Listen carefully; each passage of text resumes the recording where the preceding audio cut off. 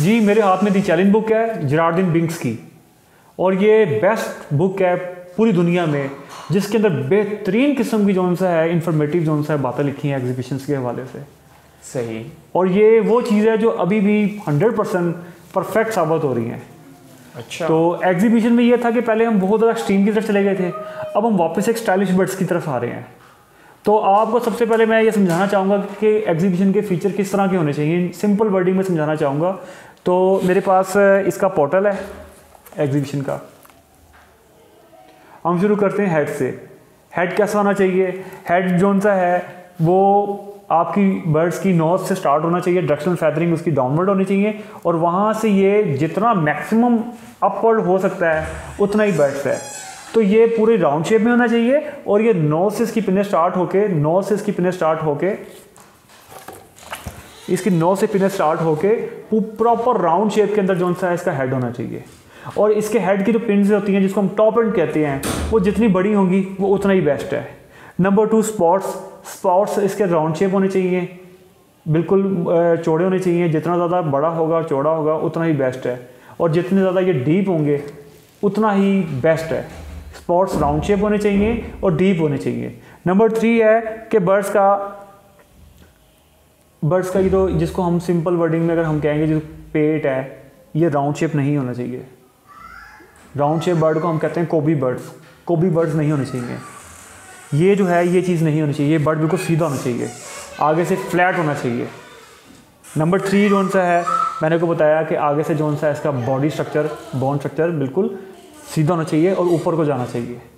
ये बात याद रखिएगा इस टाइम इस टाइम जो आपके बर्ड्स के फीट फीट से लेके ये जो फ़्लाइट फैदर हैं, जितना ज़्यादा इसमें गैप होगा, जितना ज़्यादा ये बड़ा होगा, उतना ही बर्ड आपका बेस्ट बर्ड शो बेंच पे परफॉर्म करेगा।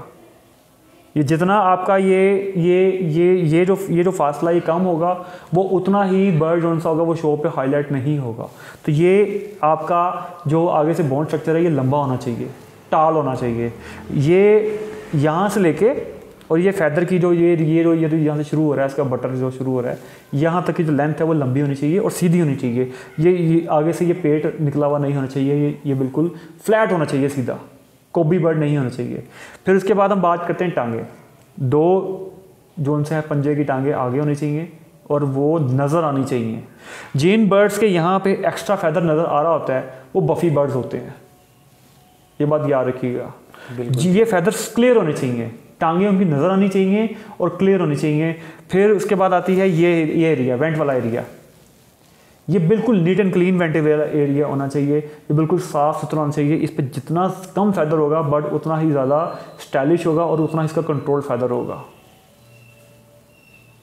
हम यहाँ से जजमेंट करते हैं कि जिसका यहाँ से फैदर ज़्यादा हो, ठीक है? टेल के नीचे ज़्यादा फैदर्स हों, हम उस समझते हैं कि ये बर्ड जोन सा है, इसके बफ ये बफनेस इसके अंदर है और हम उस चीज़ को हमेशा कंट्रोल करने की कोशिश करते हैं। मोस्ट इंपॉर्टेंट थिंग जो सी है, वो आपकी टेल है। टेल ऐसी होनी चाहिए कि पूरी लाइन पे आनी, आ रही होनी चाहिए। टेल के जो मेन प्राइमरी दो फैदर्स हैं, वो पूरी लाइन के ऊपर आके सीधे आके आ रहे हों। और टेल हिंग टेल नहीं होनी चाहिए।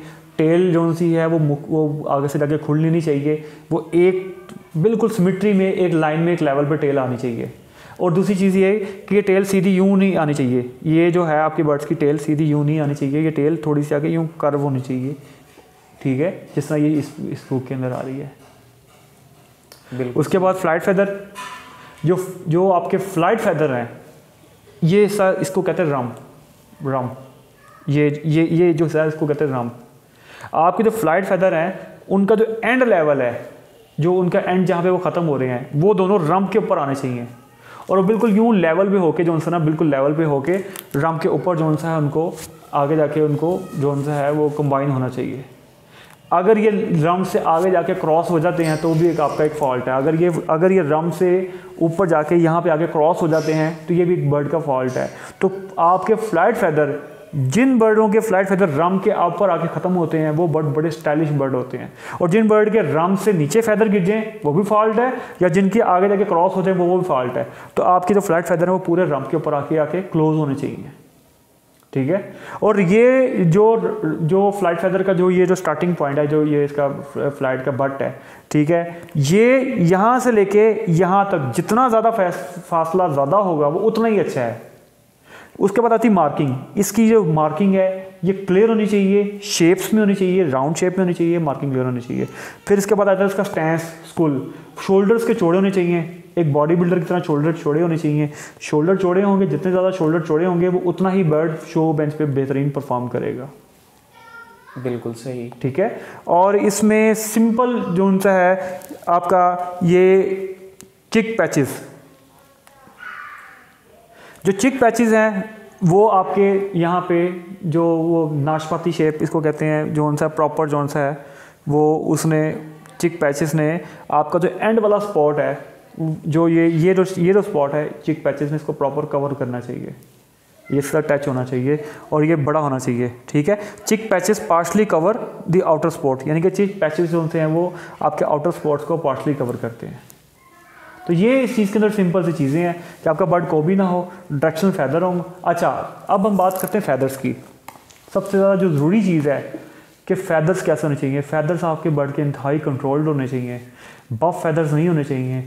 आपके फैदर्स आपने करना क्या है? एग्जीबिशन में बॉडी जितनी बड़ी कर सकते हैं, करें और जितने फैदर्स छोटे कर सकते हैं, वो फैदर छोटे करें। बड़ी बॉडी छोटा फैदर तो आपको स्टाइलिश बर्ड ब्रीड कराने चाहिए और कोशिश करें कि भाई आप अपने फैदर्स को इंटरमीडिएट फैदर या कंट्रोल फैदर में लेके चलें। ठीक है? आप उसमें जो अगर आपके बफ फैदर हैं फैदर्स कंट्रोल इजीली हो सकते हैं। आप उनके साथ जो उनका छोटा फैदर लगाएँ और हर साल उनको छोटा फैदर लगा के उनको सिमिट्री में लेके आएँ। बिल्कुल सही। ठीक है? ये था सिंपल सा। ठीक है? इसको आप जहन में रखें और इसके बाद आप अपने बर्ड्स को जो है ऑपरेट करके चलें। बहुत शुक्रिया फरहान भाई। थैंक यू जी अल्लाह हाफिज़